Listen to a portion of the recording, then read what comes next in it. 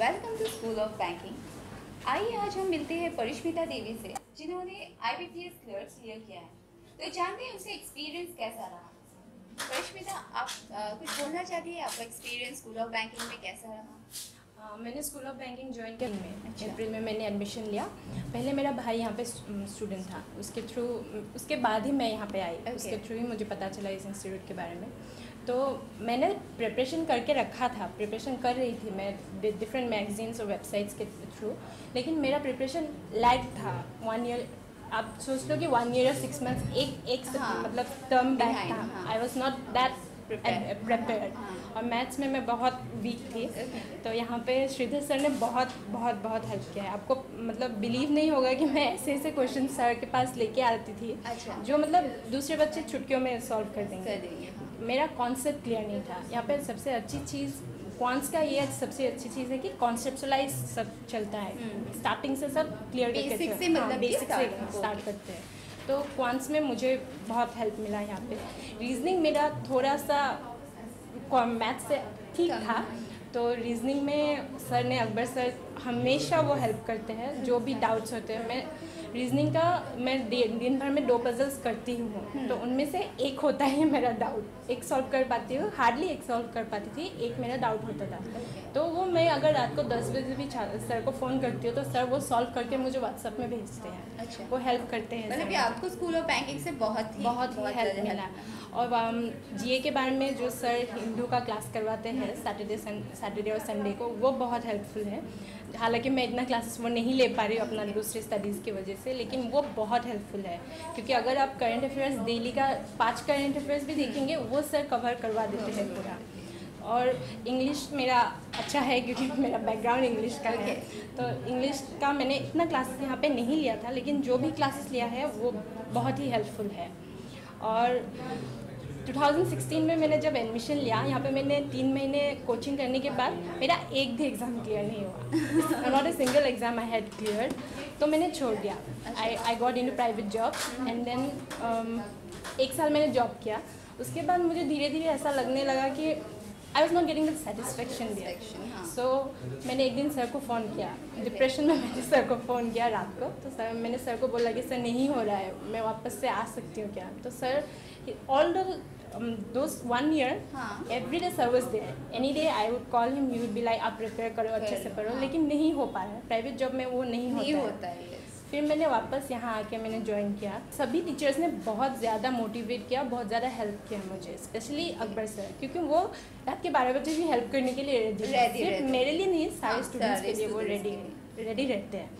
तो तब मुझे पता चला कि मेरे बैचमेट्स में जो है उनके पीछे उनके उनके कंपटीशन में मैं कितना लैग कर रही हूँ। क्योंकि मेरे बैच में ऐसे स्टूडेंट्स हैं जो पजल दो मिनट में भी सॉल्व कर जाते हैं लेकिन मेरे से नहीं होता था। और मेरा ये हो गया कि एक एक साल का जो मैंने गैप दे दिया उसमें ये हो गया कि एक साल पहले जो कर पाती थी वो भी नहीं हो रहा था। अच्छा। तो एक दिन सर तो कभी गुस्सा करते नहीं है। एक दिन लेकिन क्लास में सबके सामने सर ने मुझे बोल दिया कि तुम्हारा अभी तो तुम्हारा लेवल बहुत डाउन हो गया सबके सामने। तो वो थोड़ा सा छुपा हाँ। क्योंकि I was one of the students जो वो बहुत मतलब उनको बहुत एक्सपेक्टेशंस थी अच्छा। मेरे से। तो उस दिन से मैंने प्रिपरेशन करना उस दिन से ज़्यादा हो गया मतलब।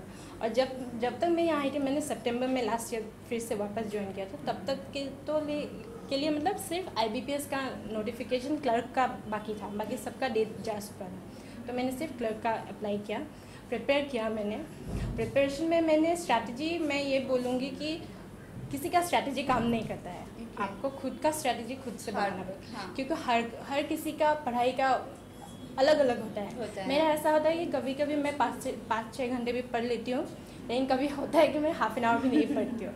तो हर किसी का वो नहीं होता है। कोई कोई आठ घंटे भी पढ़ता है डेली पढ़ता है। लेकिन मैं सिर्फ़ ये बोलना चाहूँगी कि अगर मेरी तरह लेज़ी है थोड़े लोग तो वो अगर दिन में कुछ नहीं कर रहे हैं तो सिर्फ़ जी एस पढ़े उस दिन जीए पढ़े करंट अफेयर्स पढ़े।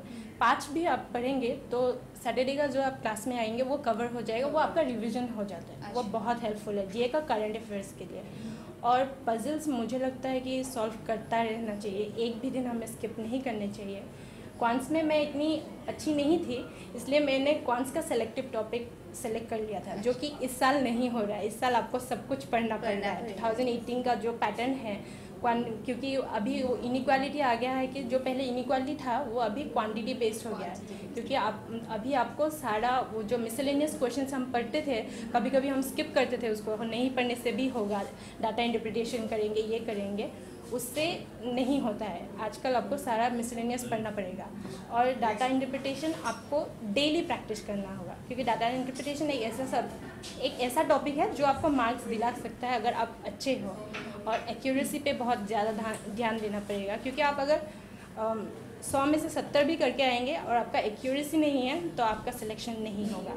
इससे बेहतर है कि आप टाइम लीजिए टाइम लेके आप प्रैक्टिस कीजिए एक्यूरेसी लाइए और उसके बाद आप स्पीड पे ध्यान दीजिए। स्पीड टेस्ट बहुत ज़्यादा ज़रूरी है क्योंकि अगर स्पीड टेस्ट आप नहीं दोगे तो आपको पता नहीं चलेगा कि आप दूसरे बच्चों से मतलब कंपटीशन आपका कितना है और खुद का लेवल आपको नहीं पता चलेगा। क्योंकि मैंने जो स्पीड टेस्ट दिया था क्लर्क के लिए पहले दो तीन स्पीड टेस्ट में तो मुझे सिक्सटीन सेवनटीन ऐसे मार्क आते थे। एक में तो मुझे आठ मार्क भी आ गया था। तो मैं वो थोड़ा डिप्रेसिंग होता है वो स्टेज डिप्रेसिंग होता है। लेकिन धीरे धीरे जब आपका प्रैक्टिस बढ़ता बढ़ता जाएगा तो स्पीड टेस्ट में मार्क्स बढ़ेगा तो आपका एग्ज़ाम के लिए कॉन्फिडेंस आएगा। क्योंकि speed test is something where you will get the exam like environment क्योंकि वो सेक्शनल टाइमिंग में ही आपको सब कुछ करना है। और यहाँ का स्पीड टेस्ट मैंने दिया है which is at par with the exam level पे है। और बैंकिंग जीएस में एक पार्ट आता है बैंकिंग और इकोनॉमिक अवेयरनेस वो आपका क्लर्क में भी आएगा पीओ में भी आएगा। पीओ में हालाँकि थोड़ा कम आता है करंट अफेयर्स पीओ में ज़्यादा आता है। और बैंकिंग में क्लर्क में वो ज़्यादा आता है। क्लर्क के लिए आपको बैंकिंग एंड इकोनॉमिक अफेयर्स आपको जानना ही चाहिए और अगर आप आरबीआई का एग्ज़ाम दे रहे हैं उसमें तो पूरा बहुत आता है। एट्टी मार्क्स का वो करंट अफेयर्स ही मतलब जीए ही होता है तो उसमें से बैंकिंग बहुत ज़्यादा मतलब बहुत हेल्पफुल करता है। और मेन्स अगर आपको निकालना है तो आपको जीए और इंग्लिश आपको पढ़ना ही पड़ेगा, क्योंकि वही दो सेक्शन है जो आप मतलब आपको मार्क्स देंगे, ज़्यादा मार्क्स देंगे। और बाकी सेक्शन आप चाहे जितना भी आप अच्छे हो आप पूरा क्वेश्चन नहीं कर पाओगे। तो ये भी is the only thing that is going to save you और यहाँ के जो हेड है अकबर सर उनका एक बुक है।